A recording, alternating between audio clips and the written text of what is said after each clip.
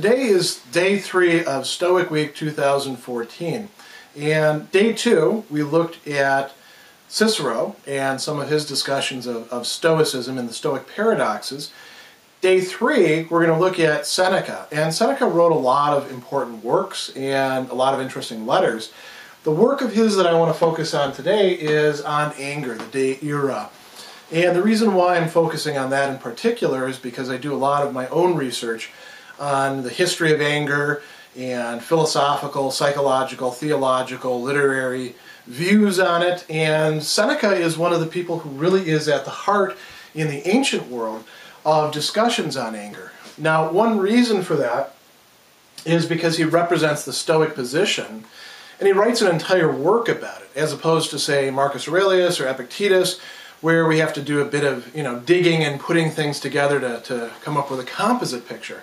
In this work, he's focused specifically on anger. He's not the only person to do this in ancient times. There were some other philosophers who also have treatises on anger. But he is the one who really holds the most influence, I would say.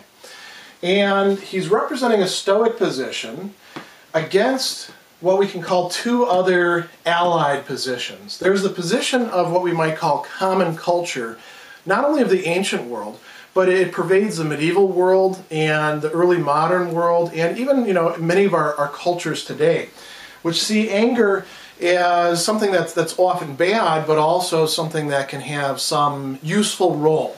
And Seneca wants to reject that. The Stoics in general did that. Even Cicero, who's not fully a Stoic, adopts the Stoic position on this and says that anger is just, you know, across the board a bad thing. So there's this common experience that we have of, of getting mad, of losing our tempers, and of thinking, well, you know, they had it coming, or in this case, it's okay. And Seneca wants to resist that. And part of what he's going to do in this is to try to provide an argument, uh, a whole set of reasons why anger can't be a good or a useful thing for us. He's also targeting the Aristotelians. He mentions Aristotle, and he also mentions one of Aristotle's followers, Theophrastus, who's another peripatetic. So he's going after an entire school, and the Aristotelian school is particularly interesting when it comes to, to anger because not only did they think that anger could in fact be a good thing and even necessary in some circumstances, they devoted more attention than most of the other schools to discussing how anger works, how, how it arises, how it can be directed, whether, you know, and in what cases it's actually virtuous. Aristotle actually has a virtue of, uh, we translate it as calmness or good temper, but it, it does involve getting angry at times. So he's targeting the Aristotelians because they're really the other dominant school when it comes to this. When it comes to, you know, say the Epicureans or the skeptics or the, the Platonists, they're all pretty much in agreement with the Stoics that anger, eh, not, not a very good thing. The Epicureans very clearly think that it's a bad thing. But Aristotle is, you know, if you want to take on somebody who thinks that anger could be a good thing, he's the guy to do that with. So that's what Seneca's up to.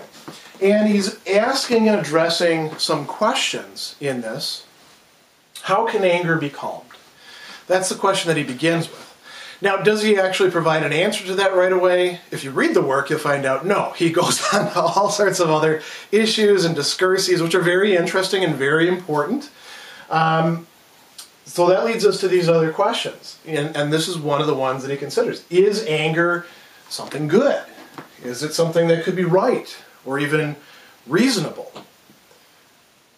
That's a position that Aristotle was taking, and that's a position that even Plato almost seems to take when he makes thumos, which can be translated as anger, the spirited part of the soul, the part of us that gets angry, the auxiliary of, of the reasonable part of the soul.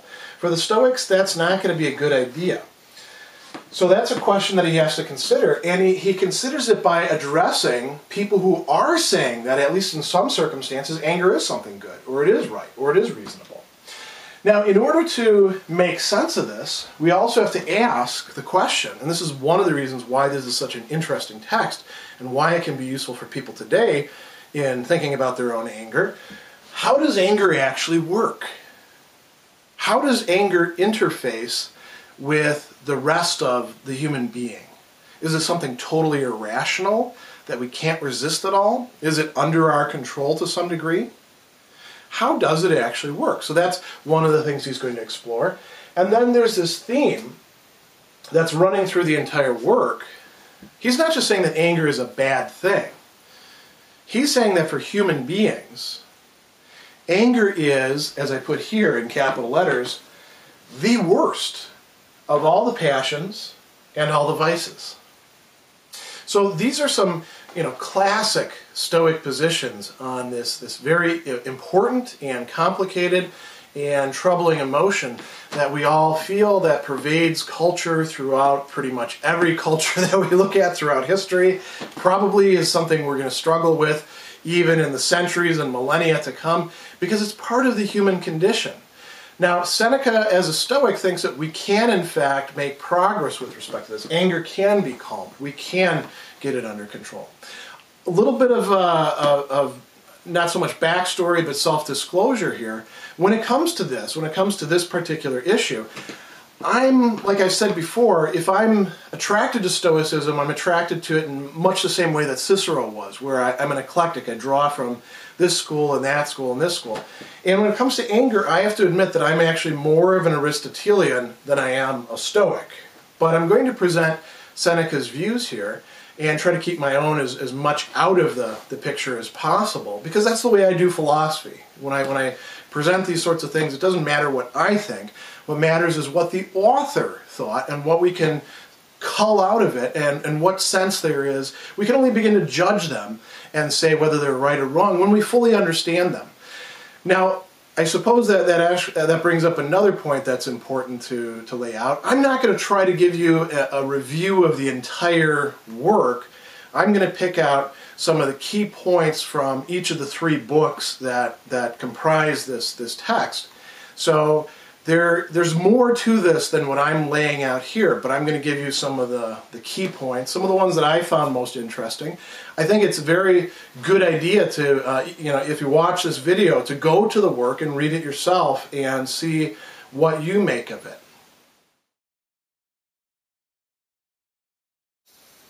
Seneca introduces a lot of important ideas about anger, how it works, how we ought to judge it in Book 1. He doesn't work all of them entirely through. They're going to go into book two and book three as well.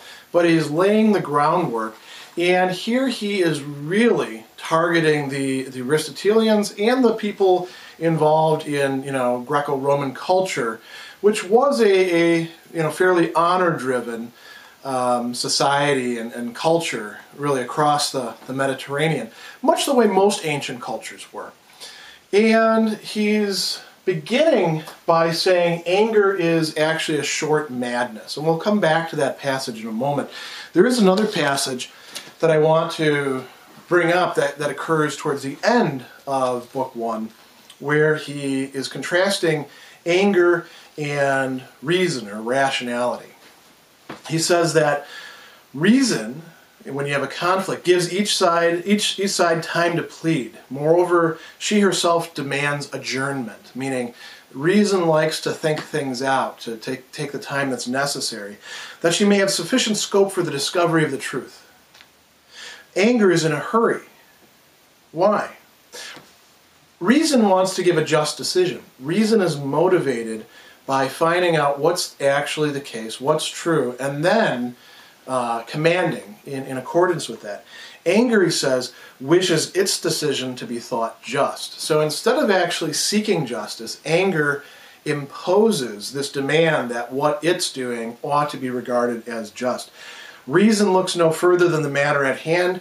Anger is excited by empty matters hovering on the outskirts of the case. How often have we had the experience uh, being angry about one thing and then finding ourselves angry about all sorts of other things, bringing up things that are irrelevant, that uh, don't really contribute to, to understanding anything, but, but allow us to feel angry. He says, um, it's irritated by anything approaching to a confident demeanor, a loud voice, and unrestrained speech, dainty apparel, high flown pleading, or popularity with the public. And he goes on and on. And then he says a little bit later, irascibility, irascibility is the vice of getting angry too easily, has this fault. It is reluctant to be ruled. It is angry with the truth itself if it comes to light against its will. And I think this is something that we can all relate to if we think about our experience when we do get angry. Have we ever gone further than we, we ought to? Reason sets down limits. So when we say that anger is actually a short madness, that it's irrational, part of what we mean is that it doesn't respect limits at the very moment that it's trying to lay down limits. It doesn't respect the law when it's trying to lay down the law to everybody else. Now, there's a number of different points here that we, we want to discuss, and I'll, I'll refer to certain passages that are particularly relevant or interesting. One of the things that he considers is anger something that we have in common with the other animals? And Seneca actually says no. They have things that look like anger, but anger itself is a distinctively human emotion and it's a distinctively human vice. He says that, that animals may have fury, they may um, you know, threaten each other, they, they engage in aggressiveness, but they don't get angry like we human beings do. If you, you know, if you threaten a dog or you pull its tail or you do things like take away its food, it will get something like angry with you, but it can calm itself fairly quickly once the stimulus is gone, he says. You know, I don't think that Seneca has in mind, you know, war dogs or, or fighting dogs or anything like that, where some sort of training would be involved. But even then, I think he would think that's something different than human anger. Human anger has a much greater potential to spill over and to last and to linger and to become something like a vice. There's the passion of getting angry and then, you know, following that out. And then over time, if we don't figure out how to manage our anger properly, we will become vicious with respect to anger. We will become irascible people, he says. And he discusses the difference between these um, a little bit early on. He says that um, the difference between anger and irascibility is the same as that between a drunken man and a drunkard. So, what does he mean by that? Well, we, we get angry, and that's something that overcomes us, but not all of us are habitually drunk. We're not all, we don't all have that, that weakness.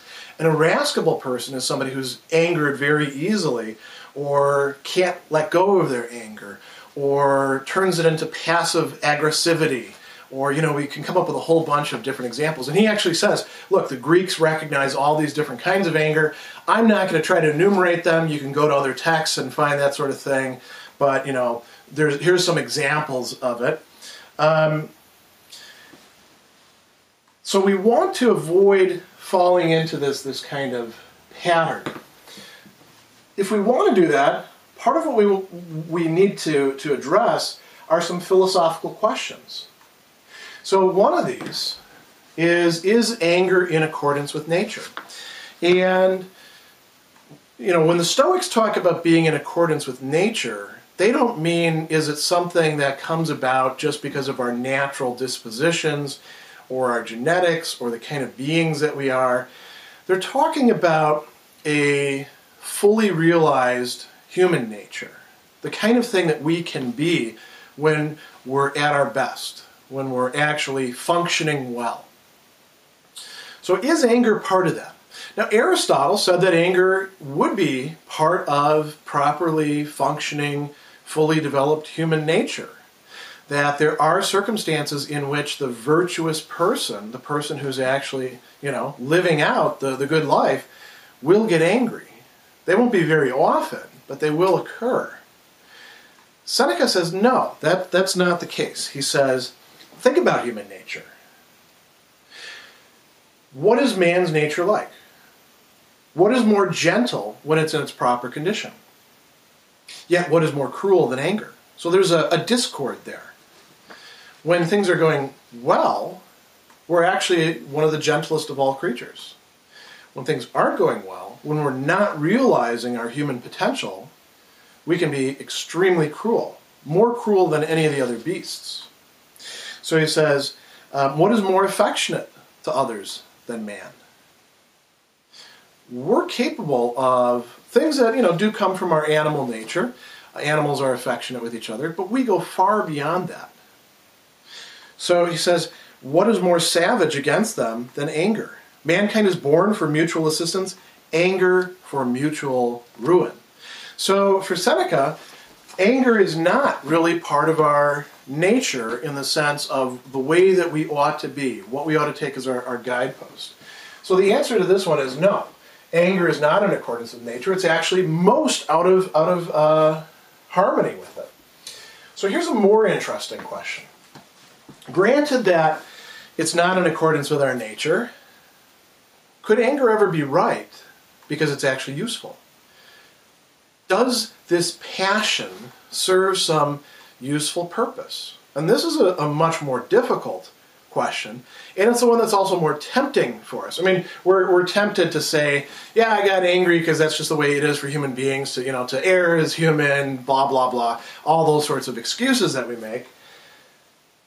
Here's where it gets more difficult. Because it often does feel, doesn't it? Like, I really ought to get angry in this circumstance. If I don't, then what? People are going to take advantage of me. Or I'm going to let somebody down. Or those bad people are going to get away with what they're doing. Or I'm going to send them the message that what they're doing is actually okay and they should do it some more. Think about, you know, is anger a good response to bullying or seeing somebody else bullied? These are really valid concerns. And they were just as troublesome back in the ancient period as they remain today for us. So he asks, um, can anger be right because it's useful? It rouses the spirit and excites it. Courage does nothing grand in war without it unless its flame be supplied from this source. Well, this is something that a lot of people were, were saying, uh, not, you know, not just the Aristotelians, but going back into ancient Greek and Roman culture that really it's good to get angry at your enemy because that's going to allow you to fight them. It's going to allow you to resist evil to stand up for what's what's in need of defending. Is this really the case though? Seneca says. He says we've got to be really careful. And here's how he reframes this question. Can reason make good use of this passion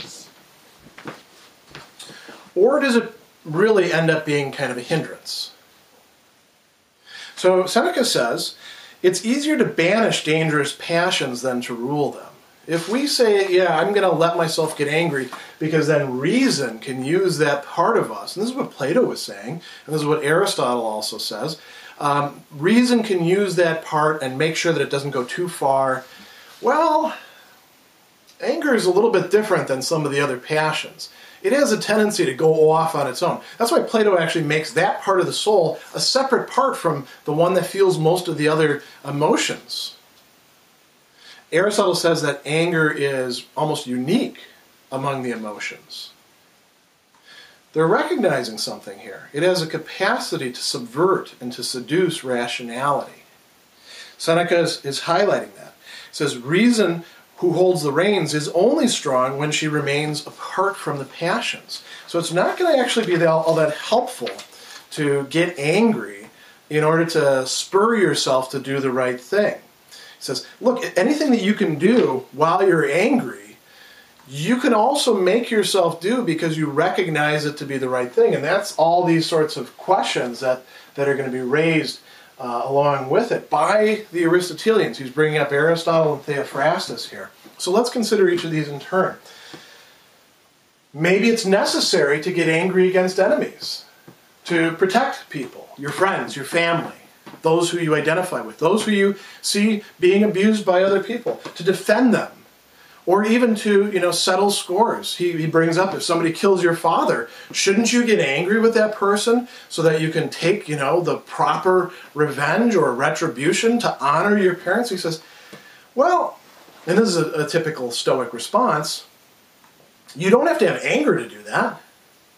Filial piety which is a virtue that can have you do that as well you don't need to feel angry. You don't need to be under the spell of that emotion. in order to do the right thing, it might, you know, in some ways help, but in other ways it's really going to hinder you because it's going to blind you to what you ought to do.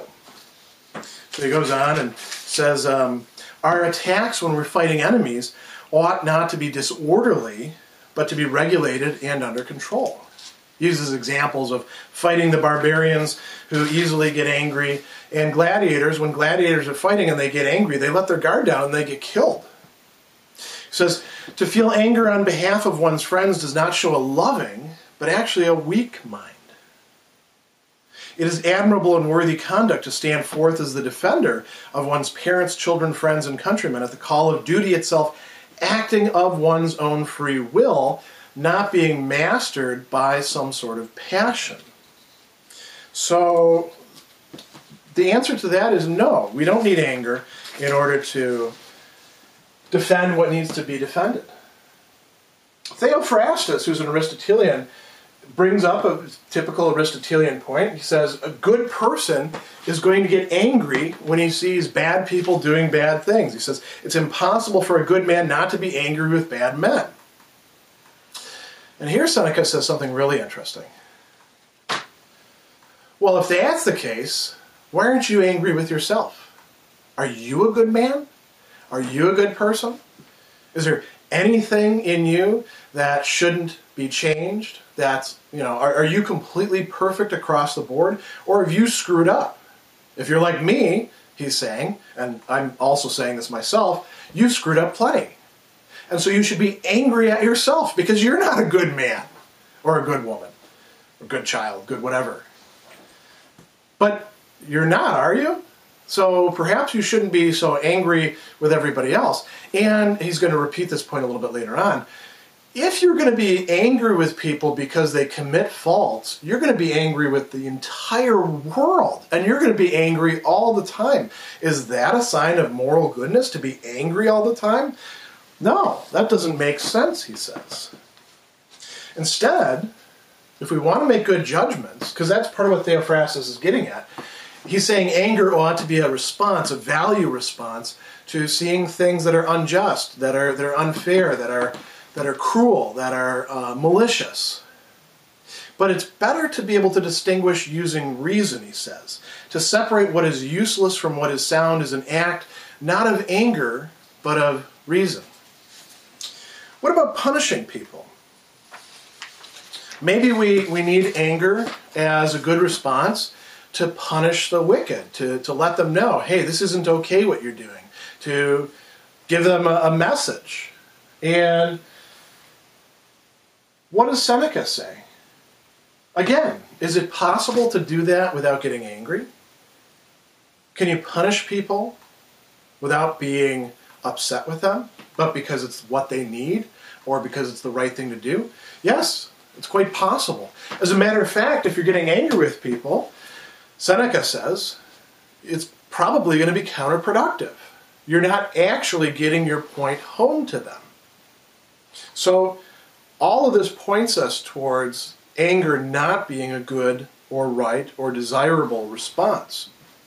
In large part because it keeps you from actually living out the kind of life that you ought to be living as a Stoic, that is a, a rational life, a life that is self controlled, where you're doing the right thing because you actually choose the right thing, not just because your emotions or your habits or your patterns of behavior and attitude compel you. Really, one of the key questions that we want to ask ourselves when it comes to anger is how does the process work?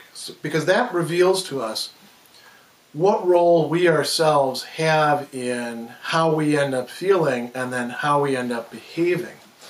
So, anger is something that is roused by the appearance of injury or wrong that's done to ourselves or done to those that we care about or identify with. And it doesn't necessarily have to be actual injury that's being done. It could be just threatened because even that, as, as uh, Seneca points out, is to sort of arouse in the person's mind, in their perception, the, the notion that something is going to happen like that. So here we have the, you know, Stoic focus on appearances. What do we do in relation to these appearances? And Seneca is going to ask, is this an automatic process? Does, does the anger automatically follow this appearance that we, we run across? Or is our mind in some way involved? And this is really important because if our mind is involved, that means that we're not totally at prey of this, that we can make some sort of intervention. It may not be a particularly effective intervention in many cases. We might catch ourselves a little bit too late. We might not, you know, have the right things uh, ready at hand.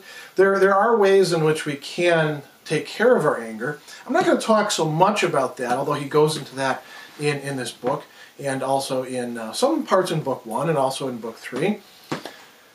There's two main things that I want to focus on here in order to keep this a little bit shorter um, than the treatment of book one. One is that anger is complex, he says. He says, um, the Stoics' opinion is anger can venture on nothing of itself without the approval of mind. Now, why is that the case? Because mind has to, has to put together these two notions, these two propositions, as he says. Um, we ought not to have been injured or insulted or attacked or threatened, whatever it is that we want to say, and we ought to avenge our injuries. This doesn't logically follow from this, and it doesn't follow by any sort of automatic process either. It's our minds, it's our reasoning processes that we're often not completely conscious of but we can become aware of that connects these two. And uh, this is a little bit of backstory here that, that's not being brought up too much here, but it's useful to, to think about this. For the Stoics, emotions, which we actually feel, are at the same time also thoughts. They're judgments about things. So the feeling and the thought are kind of two sides of the same coin, they're bound together. So these correspond to feelings. We feel wronged, we feel injured. And then we also feel this impulse to respond, to fight back, to avenge ourselves, to impose something, uh, impose some suffering on somebody else. He actually says Aristotle defines anger, and he's oversimplifying here a bit, as the wish to impose suffering in return upon another. That's from Aristotle's Topics, actually. He says, I'll, I'll go along with that. I think that's actually correct. So anger does involve a desire, which is the flip side of, of a judgment. So he says, the impulse is a simple act, but this is a complex one, composed of several parts. The person understands something to have happened, he becomes indignant at that, he condemns the deed, and he avenges it. All of this happens because we, we think our way through it often, again, not being conscious of like sitting down and going through a discursive process. It's happening. It feels automatic, but there's actually a reasoning process that we can observe and intervene with it. So let's look at the process involved. Um, Seneca says there's, there's three steps to this. First, there's some sort of impulse and perception, and we'll talk a little bit more about that because I just want to lay this out very quickly. And he says that's actually involuntary. We don't control whether you know somebody bumps into us or whether we read a book and, and you know something in the book offends us or anything along those lines. That happens, right? We don't control that. To, to go to the you know classic Stoic uh, distinction between things that are in our power and things that are not in our power, that's not in our power. Then this wish to avenge ourselves, this this response that, that arises from it, that's something distinct. That we do have control over at least to some degree. Uh, if, we, if we're already coming to it with a lot of bad habits formed, we have a little bit less control because those habits do some of the process of getting us from point one to point three uh, without us, you know, if we're not paying attention to it. Um, but once we become aware of our own involvement in it, this is where we can actually intervene because this is voluntary. We can think other things. We don't have to be, um, you know, angry when we are or when we do get angry, we can try to oppose other things to it. He says, better to laugh or to cry than to be angry, for example. Then there's the actual passion. And once it gets to this point, the third point, we're, we're screwed. It's the train has, has left the station and it's heading down the track, and you're not going to pull it back um, unless you you know something happens. You know somebody like pulls you up short and says, hey, "Knock it off," and then you're back at stage two where you could actually think about it. But so long as the passion is driving you, you're you're pretty much out of control. Your reason has been overridden if there is rationality operating, if it's not just complete insanity, as Seneca seems to think, then reason gets harnessed and is turned into the slave of that passion, to use you know Hume's term. So he says um, that uh, going back to this first part, it's not actually a passion itself, but a rudiment. He says a, a beginning that can grow into a passion. So you know, what are some examples of this? He says a soldier starts at the sound of a trumpet, even though he may be dressed as a civilian in the midst of profound peace. Camp horses prick up their ears at the clash of arms. It, we, there's things that rile us up, that, that get us going. And he says, um, none of these things which, which uh, casually influence the mind deserve to be called passions. The mind, if I may so express it, rather suffers passions to act upon itself rather than forms them. So it's not the things that are presented to us, but it's what we do with them that's going to cause the passion. He says, it's not being affected by the sights which are presented to us, but in giving way to our feelings and following up on these promptings. Um, so this first emotion is involuntary. The next, he says, is combined with a wish, a volition, a choice on our part. And again, this is where we actually have some capacity to intervene, and we we're better prepared for that if we actually realize that this is something we have control over.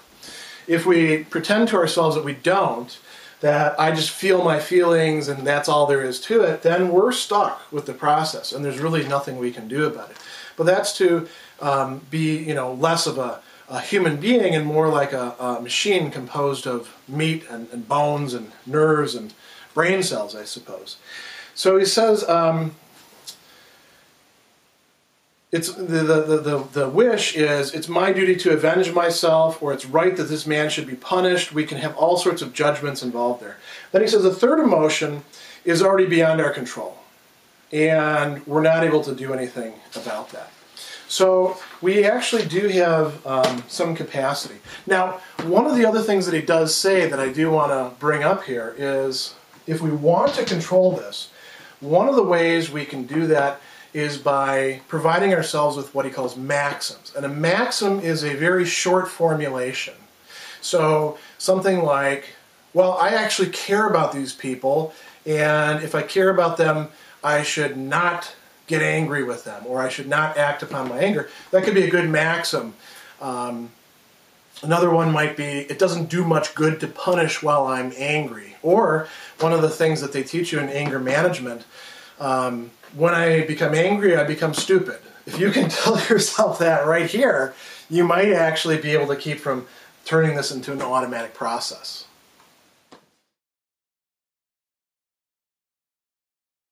Book three is quite long, and there's a lot going on in it. I'm just going to hit on a few points to sort of bring this to a close.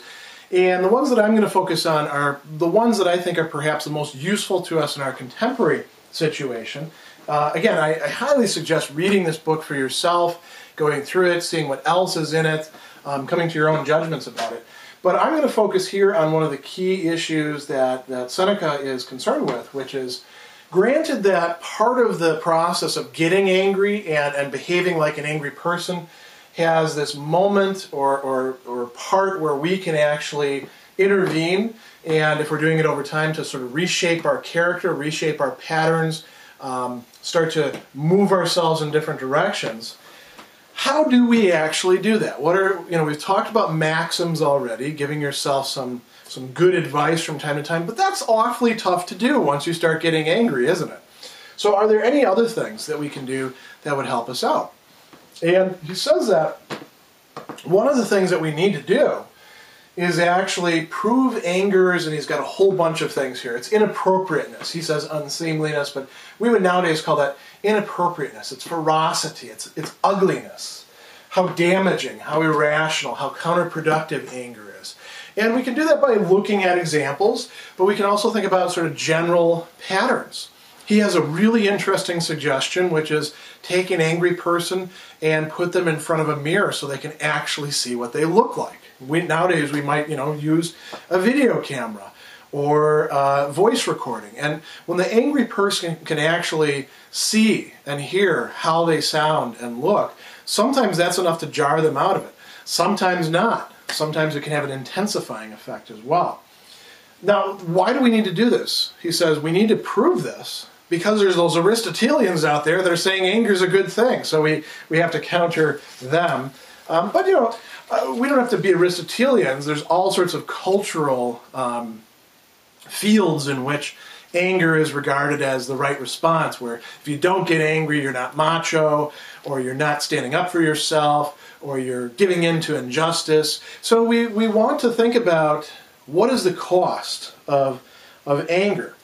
Um, so he says we should focus on anger's connection and comparison with the other vices. Now, here's where the Stoics really do depart from most of the other schools of philosophy in thinking that anger is the worst. He says that um, let's compare it with the worst vices. Avarice, greed, scrapes together and amasses riches for some uh, some better man to use, anger spends money. Few can indulge in it for nothing. How many servants does an angry master drive to run away or to commit suicide? How much more he loses by his anger than the value of what he originally became angry about? Anger brings grief to a father, divorce to a husband, hatred to a magistrate, failure for a candidate for office. It is worse than luxury or self indulgence with respect to pleasures. Why? Luxury enjoys its own pleasure, anger enjoys another's pain. And we can go on. He says it's even worse than spitefulness, which that's a stretch. I mean, here he's clearly at odds with, with Aristotle and with Plato.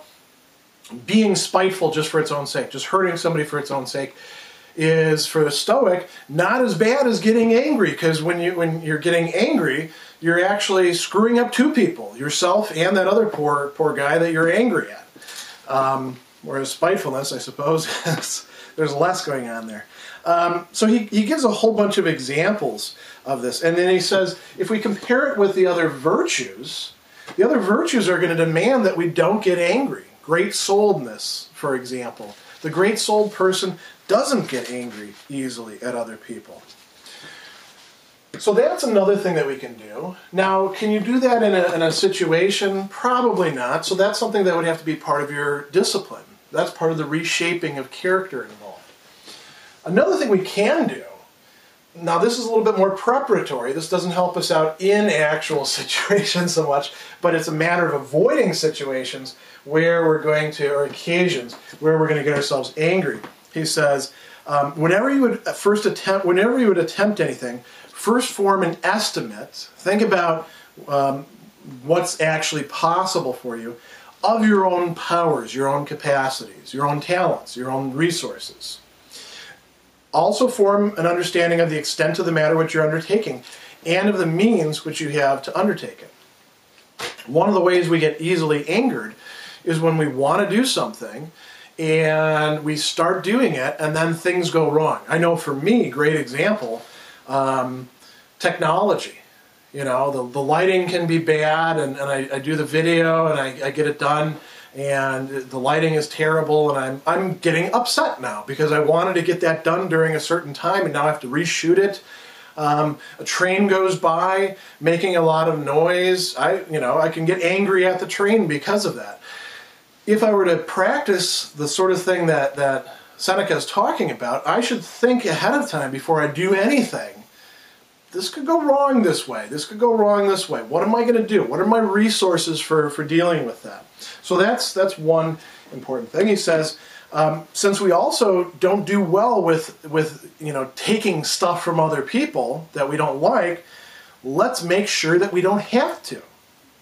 We should live with the quietest and easiest tempered persons, not with anxious or sullen ones. Let's avoid the passive aggressive people as our friends or in the workplace. Um, now, obviously, you, you only have a certain amount of control over who you associate with. Um, you know, as they say, you can pick your friends, but you can't pick your family. You also pretty much can't pick your workmates either, can you? Unless you decide to change a job. Um, and even friends, you know, it's there's there's there's it's tough to let old friends go, isn't it? But there could be people that are not good for us to associate with. Some of those people will be the people who do get angry or hold on to their anger too long, uh, because they're gonna they're gonna sort of reinforce our own bad tendencies. We want to spend our time with people who are going to be good role models for us in how to deal with our own anger, rather than those who are going to intensify it. He also has another really interesting suggestion here irascible people, that is, people who have a, a, vice with respect to anger, ought not to meddle in the more serious class of occupations, or at least ought to stop short of weariness in the pursuit of them. Their mind ought not to be engaged on hard subjects, but handed over to the pleasing arts. Um, so he would say, you know, look, with respect to philosophy, for example, if you're an angry person, you probably don't want to go and get a PhD in philosophy because there's going to be a lot of things along the way that are going to tick you off. You probably shouldn't get into politics, even if you think that anger could be a useful device for getting into politics and getting people to listen to you. Because, man, you're going to be angry all the time. There's probably a whole bunch of other things that you shouldn't get into. And if you do, then you should take some steps to minimize the, the spillover that's going to happen when you do get angry, when you lose your temper. So these are all useful bits of advice. He's got other things here as well. He talks about a lot of examples, um, but I think that's probably sufficient to give you a, a good understanding of what's going on in this classic text on anger. Uh, really wonderful work by this great Stoic philosopher, Seneca. And uh, that's where we'll wrap up.